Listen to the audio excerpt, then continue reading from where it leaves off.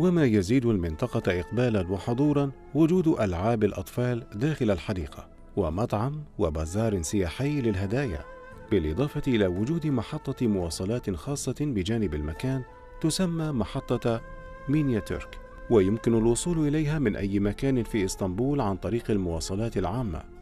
وتتضمن العديد من الألعاب منها القلعة العثمانية والمتاخة والقطار الذي يقدم لأطفالكم جولة رائعة في أنحاء الحديقة وهناك إقبال كبير من الأطفال من أجل التعرف على المعالم التاريخية بدون مخاطر السفر بحيث يحصلون على معلومات أجدادهم دون عناء التنقل بين المدن المتباعدة.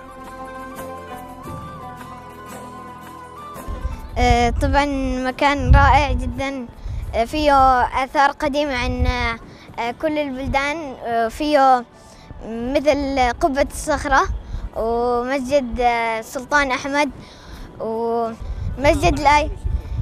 شفنا يعني أشياء أثرية عن تركيا والبلدان يعني الثانية. شفنا مثل المسجد الأقصى شفنا قبة الصخرة شفنا آيا صوفيا شفنا مسجد السلطان أحمد.